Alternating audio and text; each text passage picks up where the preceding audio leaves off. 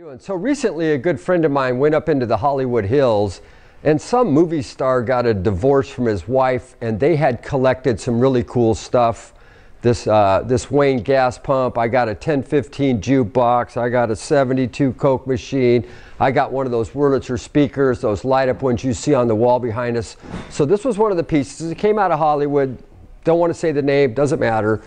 This had been restored, you know, quite a few years ago. When it came in, it was an older restoration that nobody had really taken that good a care of. So we brought it in, we took it all apart, we did a full service in detail. So we cleaned it all up, we touched it up. One of the glasses were broke up here, we replaced that. One or two of the glasses on the side were broke, we replaced that. We put new light bulbs in it. Once again, we touched it up, and uh, there's really not much to service except the lights. And uh, inside of this, the pump is gone, which is fantastic. You always want that big, nasty, ugly, stinky thing gone. So that's gone. The inside has been all cleaned up, and as well as it is primed, painted, etc. Just a nice, clean 1937 to 1939 is when the Wayne manufacturing made these pumps. It's a great display piece. It shows nice. The beauty of it is it's under eight foot. So you can put this in any normal room. So just a nice clean piece. When I got it, I sent out, had that chrome. Once again, put the new glass all in it, touch it up, clean it up.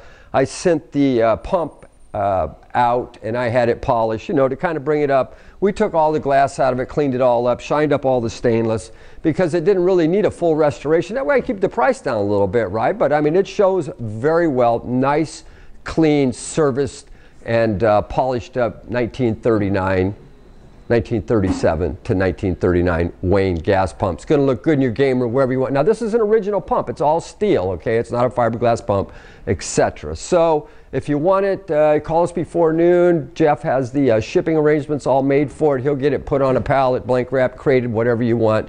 And it's a one-stop shop. We'll just have this thing sent right on out to you. So, uh, we do that all the time. we make it easy on the customers. And here's another piece. Looks good, smells good, is good, doesn't stink at all.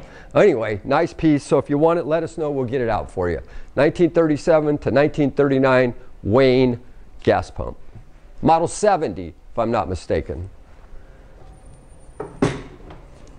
These are Mantiques. Antique, Mantique. These guys sell Mantiques. This is their store. We're picking, we're bringing stuff every day, in and out, in and out, in and out. We're, we're, we're shaking and baking. These are their customers. Give me the rundown on the GMC. This lived in a bar in Ghent, in Belgium. Follow Jim and Jeff from 9 to 5 or after hours as they buy, sell, and restore the coolest stuff for the coolest collectors worldwide.